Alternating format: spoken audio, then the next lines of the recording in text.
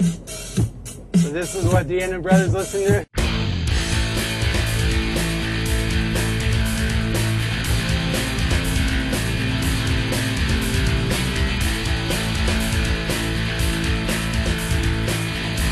Getting ready to go uh, try out the new MB. Um, just came out. It's being launched for 07, the Tomcat.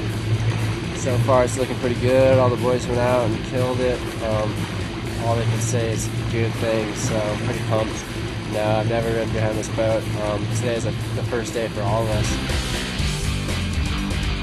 What happens is the Wake Kara 6 is a great ramp to it with a lot of girth to it, a lot of size, but a nice crisp lip on it. It's got a wide table, so what happens there is you get a lot of float time for those technical tricks and even just fun floaty tricks.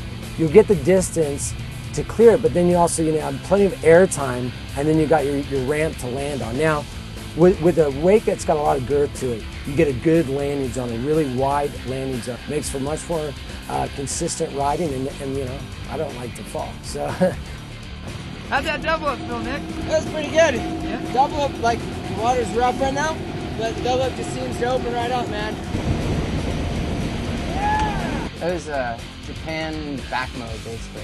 It's uh, got a Japan grab with a, a back mobe, which is a back flip with a frontside 360.